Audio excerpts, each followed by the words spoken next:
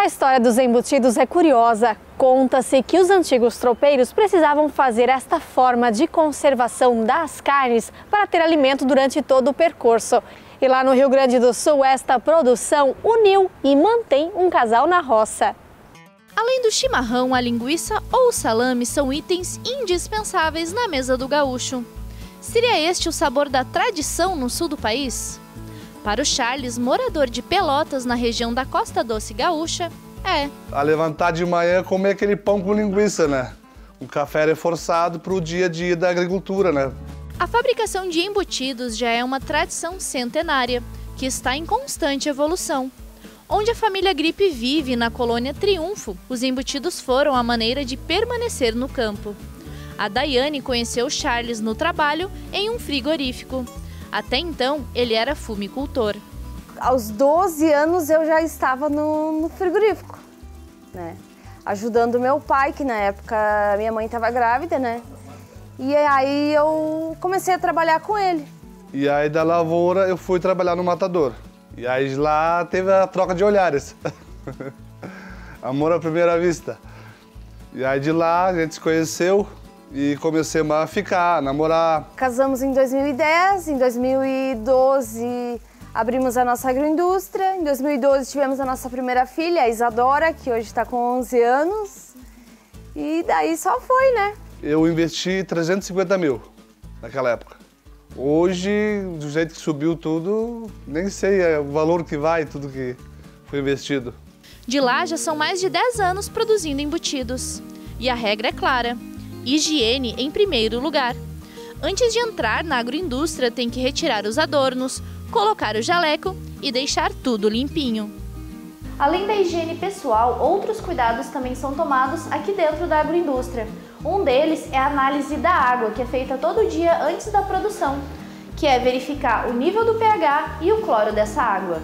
Para manter o ambiente controlado, é utilizado o ar-condicionado na temperatura de 15 graus. Conforme a gente vai pegando a carne da câmara de resfriamento, que ela vai para a mesa, eu já vou pegando ali os lotes de cada do, dos sacos de carne e das embalagens também, que é do, dos condimentos que vão, o número de, do, do lote. Eu vou anotando tudo para depois pôr em papel para colocar em prática a nossa produção. E a cada três meses temos a análise dos nossos embutidos que é feita análise de água e análise de linguiça também a cada três meses. As portas são tudo isoladas, né?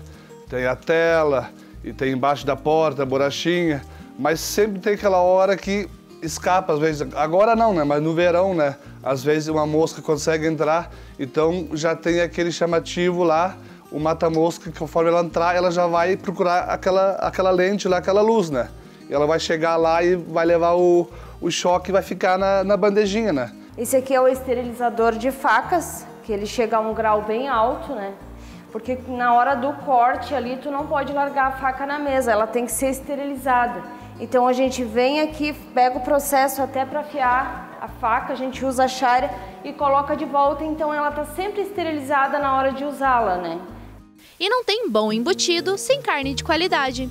Para 50 quilos de produção da linguiça, 60% da carne é de paleta suína ou pernil desossado e os outros 40% carne bovina, sendo utilizada a parte dianteira ou também a paleta.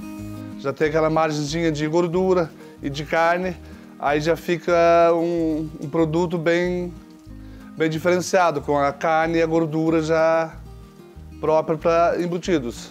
Aqui é o processo de recebimento da matéria-prima. Quando ela chega, ela vai para essa câmara de congelamento, onde ela fica armazenada a menos 12 graus. E depois, quando a gente vai produzir, a gente tira ela dois, três dias antes para colocar na câmara de resfriamento, onde ela fica em torno de 5 graus. Em seguida, a carne vai para o processo de corte, pesagem e moagem junto com o tempero verde. E então passa para o misturador, onde são adicionados temperos como sal, pimenta, alho desidratado, sal de cura, corante, o realçador e o fixador de cor. E então, a carne é colocada na máquina embutidora.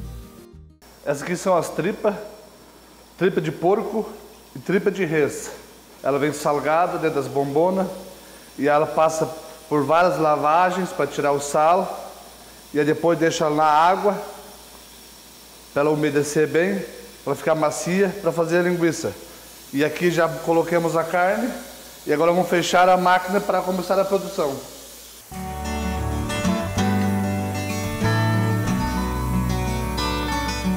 A máquina fechada, vamos liberar o ar dele.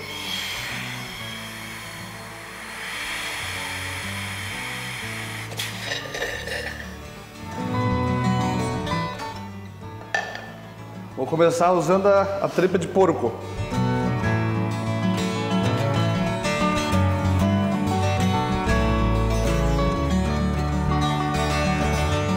A tripa de porco é mais fininha, mais sensível. E essa aqui é a tripa de res. A tripa de res já é mais, mais grossa, já pode afirmar mais a linguiça. O processo de embutimento é como uma dança sincronizada, onde é preciso modelar cada peça. Depois, a Daiane fecha as pontas da tripa com a mão para evitar que a peça fique preta com a entrada de ar. Daqui a linguiça vai para o fumeiro, onde fica por cerca de dois dias em uma temperatura de 70 graus. A defumação dela é no carvão, não é nada de defumação artificial, é a moda antiga ainda, que dá o gostinho bom da fumaça na linguiça. Depois de defumada, a linguiça é rotulada e está pronta para ser vendida. No rótulo constam as informações de validade e os selos de qualidade que a agroindústria conseguiu ao longo dos anos. Que chega no mercado, a primeira coisa que vai olhar é no selo, né? O, o que, que tem nos condimentos, uh, qual é a carne. A gente vendia só para o município de Pelotas, como a gente tinha só o selo de inspeção municipal, que era só pelo município. E aí a gente aderiu ao selo do SUSAF, que para nós foi uma boa, né? Porque dá para vender em outros municípios, a não ser só em Pelotas. Fomos atrás do Sabor Gaúcho, do SUSAF e conseguimos conquistar todos eles. E hoje temos abastecendo já todo o estado. O aumento das vendas é sinal de que cada vez mais os sabores de uma tradição antiga seguem ganhando espaço. Fazer salames e linguiças secas ou congeladas é um exercício de paciência e cuidado. E mais, uma arte.